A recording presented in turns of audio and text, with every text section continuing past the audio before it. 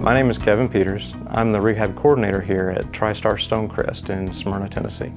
My role in uh, patient care uh, as a physical therapist is really to evaluate their issues. So whatever problems that they may come in with, I want to take a good look at what they are telling me first. So we want to pay attention to what the patient is saying as well as what their body will show us through different movements and different tests to help ascertain what really is the root problem for them functionally.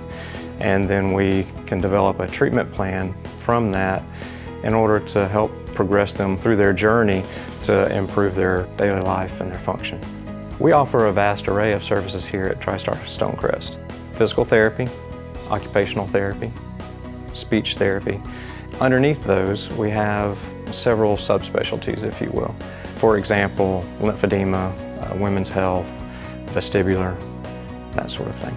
Our staff have a wealth of knowledge with an average of 14 years of experience with several different specialties from lymphedema, orthopedic certified specialists, vestibular specialists, VitalStim specialties, and I could go on.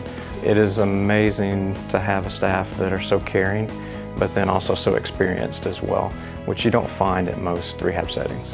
Each one of us in our department really enjoys coming to work every day. There is a heart of compassion and caring, and everybody's dedicated really to trying to carry on the Frist legacy to, to be committed to the care and improvement of our neighbors in our community and, and their lives.